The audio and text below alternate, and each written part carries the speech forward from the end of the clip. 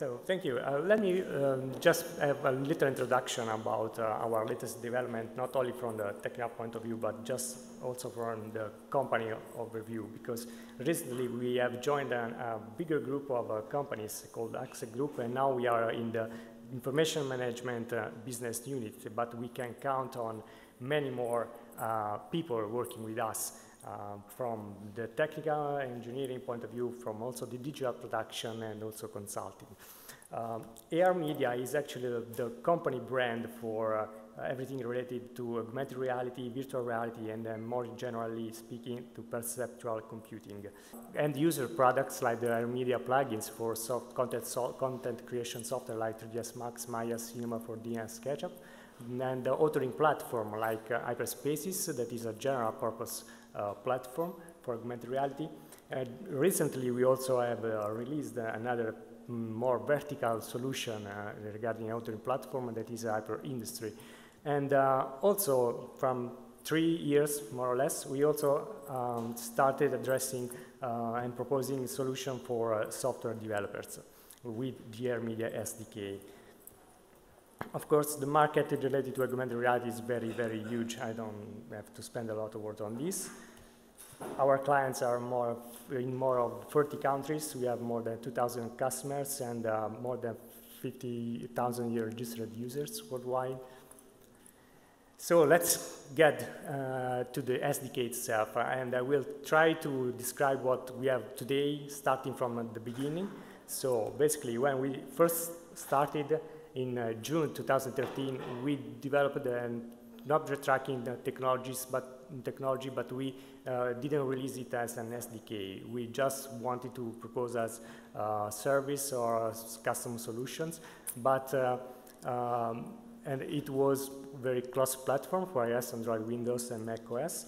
But next year, uh, in uh, during the AWE, we released the in uh, Santa Clara, we released the, object tracking SDK with that, just that feature. So no other kind of tracking technologies, no planar tracking, no geolocation tracking, and so on. And after one year, again, uh, during the AWE in Santa Clara, we added more features to the SDK.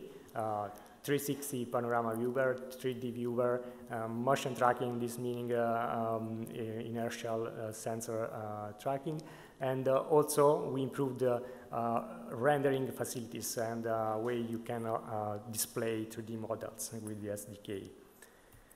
the last version, released in March this year, added also planar tracking and the location tracking. And uh, just today, we released the new version with a lot of improvements, the version 2.1.0, uh, uh, with a lot of performance improvement, but also a very complete uh, API documentation, both for Android and iOS. And uh, most of all, we released the multiple object tracking. This meaning that you can recognize and track more than one object uh, in the same application at the same time. Uh, and also we improved a lot and simplified the tracking data uh, process, data creation process. I will talk about this in a few minutes. So talking about the SDK, in general, we, have, uh, we provide several tools uh, all around the SDK itself. Uh, uh, talking about that uh, target creation process, you will use the ARMedia Toolset uh, app for iOS and Android that is basically used to capture the object you want to recognize and track. then you use the developer portal to manage your licenses or the tracking data. And uh, sometimes you can use also third-party components if you want to have much more control, for instance, on point cloud generation and uh, cleaning the point cloud on, and so on. But these are optional components and not required. And you can also mm, count on conversion utilities if uh, the format, the 3D, the file format of your 3D uh, models are not supported, but we usually support a lot of formats like FBX, OBJ, 3DS, uh, and others.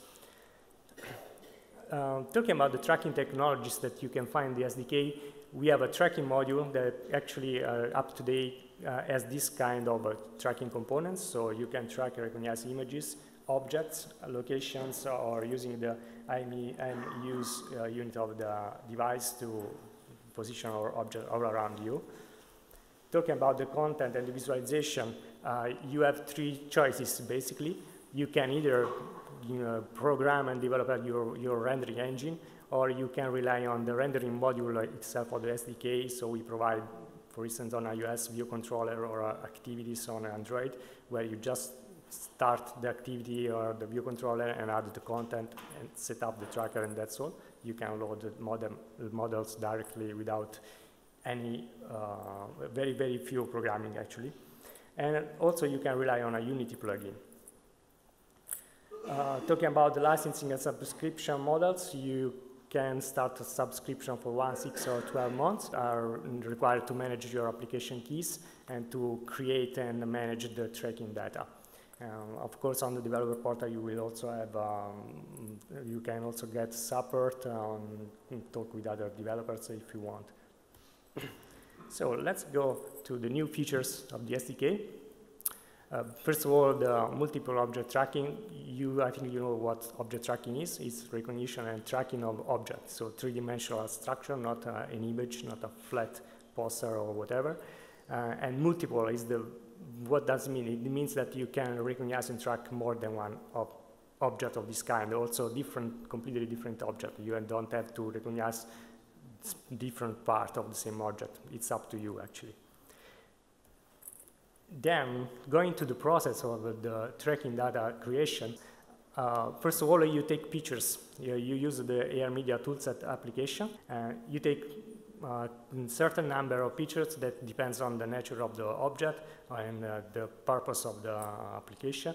But usually you could start taking 16 or 50 pictures. Uh, it really depends on the object itself. From those pictures, you create a point cloud. Uh, now I'm showing you the new workflow, the one that allows you to have much more control on the process.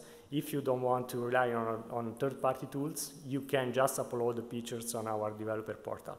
Otherwise, you can use, for instance, this is a PhotoScan where you just upload the pictures that you have taken using the um, uh, toolset application. you get a point cloud out of uh, those pictures. You can remove points that you don't want to uh, be in the tracking data. So you can filter out an object. For instance, if you want to take picture of, uh, uh, let's say, um, a building, you can remove the surroundings when you, you, have you have reconstructed the point cloud from this step. And when you will use the tracking data of that object, uh, the tracking engine will recognize the object and not the environment. So you can create the tracking data in one, one place and use the same tracking data in another place, for instance. Then to go on, on the, with the process, you can either use a CAD model if you have one, or you can uh, go further with the process and reconstruct a mesh with the, uh, starting from the pictures that you have taken. In both cases, the output of this step is an OBJ file, uh, can be an object file with a material library and texture, textures eventually. Then the next step is to log in on our developer portal and uh, upload the point cloud that you have reconstructed, reconstructed if you have done this step. Otherwise, you just upload the images, like here. Then you upload the CAD model or the mesh that you have reconstructed. So basically an OBJ file with textures. And then the next step is to make correspondences between the 3D model that you have uploaded on the left and a couple of pictures that you have taken using the toolset application. And this will help to choose a, a scale, a working scale and orientation of the augmentation with respect to the 3D model that you have uh, provided. Finally, you just send everything to the queue and everything you get processed on the cloud server that we have. And after a few minutes, you will get a result that basically is a zip file containing the tracking data. You download the zip file, and you load it in the Media Toolset application, where you can try on the real device, on the real object, and using sliders, you can uh, tune the tracking parameters and save back into the application. And finally, you can deploy the, the new tracking data for your purposes. So let's see a little bit more about um, what, is, what is related to the APIs. The basic design principle behind the SDK was, since the beginning, simplicity. We wanted to provide a, a, very good SDK, but we wanted to keep it as simple as possible in terms of APIs.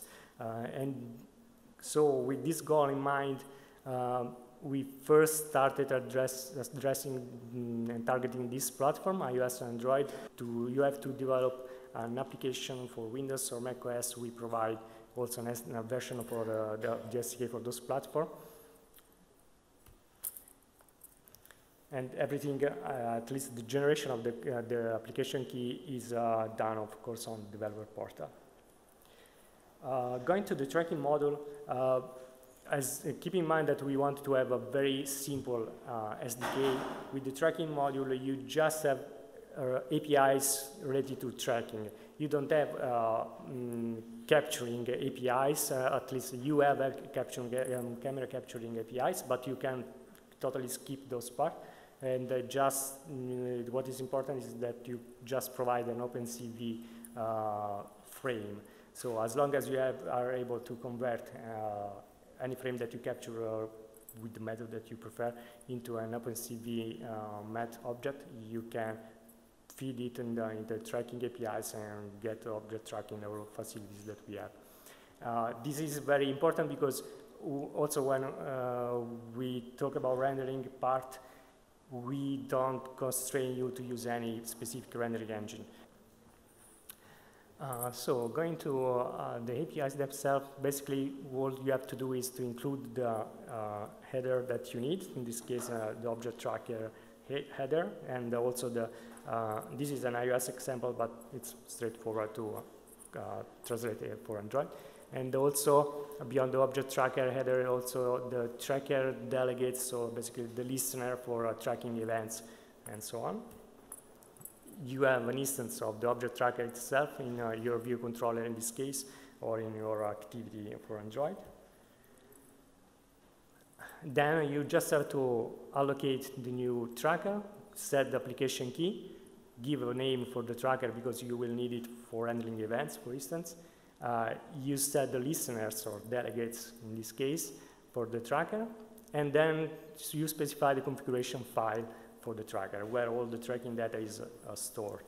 Uh, and finally, you just init the tracker.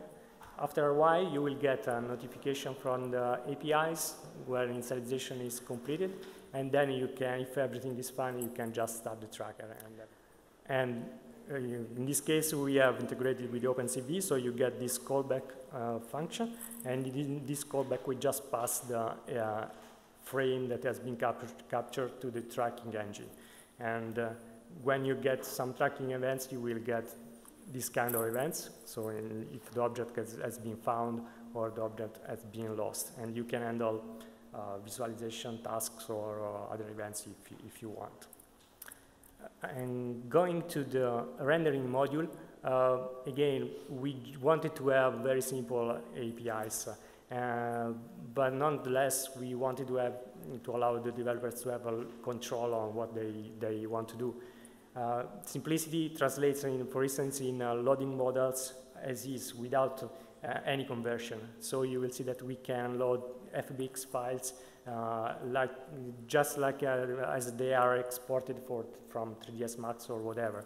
You don't need to convert to other specific, uh, specific or native formats for loading in the any application developed with this SDK. Uh, we manage uh, animation, so both rigid, rigid, body animation, but also bone system systems. Uh, and we provide view controller and activities that you can just plug and pl plug and put into, into your application and use as is or der derive classes, specific classes for those view controllers or activities. And there is not only AR in the SDK, but also some functionality that are going towards VR. So for instance, uh, panorama viewers and so on. We are also improving those features in, from time to time. And this is an example. For instance, this case uh, is related to the new APIs related to multiple object tracking. So you include uh, both an object tracker and planar tracker uh, header and also the listeners for these kind of trackers. And uh, in, in, the bottom uh, rows, you see the kind of object that we can use. For instance, uh, um, AR model are 3D geometries with animations, uh, movies or images that you can add to the ARC. You set application key and the delegates or listener of the view controller to handle tracking and rendering events. You choose the configuration files for the tracking. In this case, we will use a couple of trackers for two different objects, for instance. Okay, this is just code for the super class view development. And finally, you add the tracker specifying the name, the configuration file that you want to use, uh, and you init the, each tracker that you have added. In this case, we have a couple of trackers. You can see that we load an FBX file that has not been converted in any way. You can specify tra transformation for the, for the object that you want to add, and you choose where you want to add the model, in this case, to the object tracker. Uh, again, we wanted to keep it as simple as possible, so we created some a set of prefabs that uh, comes with a, a plugin package, and, uh, and one example for each tracking method. And also, what is really nice, and I will show you a demo, uh, is that interaction with the real object is, comes very easy because of the process involved in the reconstruction of the object itself. And you will see it at the end of the presentation. So basically, uh, in Unity, you have, uh, I think you cannot read uh, anything on there. Uh, you have uh, an object called ARMedia SDK, and mm, one or more trackers with the other games object that are controlled by those trackers. Maybe in this screen you will see better. For instance, this is the uh, information related to the AR media object, AR media SDK object that you always have uh, in your uh, game or application. You just have to specify the application key that is used to, uh, for licensing purposes. Uh, you have a, an array, a list of uh, trackers, in this case just two trackers, and you specify the camera that must render the scene. For each tracker, you have this kind of information. You just provide the name of the tracker. Uh, again, the, it, it is used just to handle events, tracking events. Uh, a configuration file that comes from the developer portal uh, related to tracking uh, data related to the tracker. And the augmented content is attached to the uh, ARMedia object target in this case. So basically, you just have three entities in, in your scene. The Media SDK, uh, an object tracker or planar tracker or whatever, and the related targets that you attach to each, each tracker. So I think that I can show you how this works in practice. Okay, this is a sample scene. You have a, mm, this is a reconstruction of the um, of a box, okay, and that's been made taking pictures of the box from all angles. Uh, in the scene here, you have the ARMedia SDK, as I told you earlier. Uh, you have an object tracker game object with the tracking configuration here, specified by this configuration file. And uh, this game object, uh, this tracker uh, as a reference to a target, that is this other game object here. And uh, this controls the way the content is displayed. And so you can have the, the mesh of the reconstructed object in the editor, and you can add the 3D content on top of this. And when you run the application, you won't see the box because it is uh, only used for reference. Uh, but the nice thing is that uh, you can interact with it because you have 3D model of the, uh, of the box itself. And so basically that's all. I'm sorry for the technical issues and hope that you will mm, come and join me to see the demo if you are interested. Thank you. If you have any questions.